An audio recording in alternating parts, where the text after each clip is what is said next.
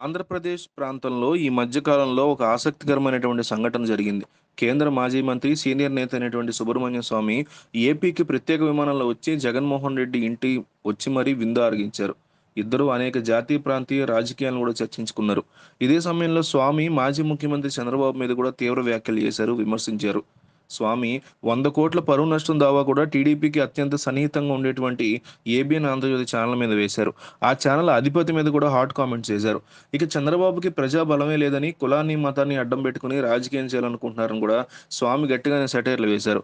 మొత్తానికి స్వామి, జగన్మోహన్ రెడ్డి భేటీ మాత్రం ఏపీ రాజకీయాల్లో పెను సంచలనమే రేకెత్తించింది. ఇవన్నీ ఇలా ఉంటే స్వామి ఎందుకు జగన్‌కి మద్దతు పలుకుతున్నారన్న దాని మీద ఢిల్లీ పొలిటికల్ సర్కిల్స్‌లో ఆసక్తికరమైన చర్చ జరుగుతోంది.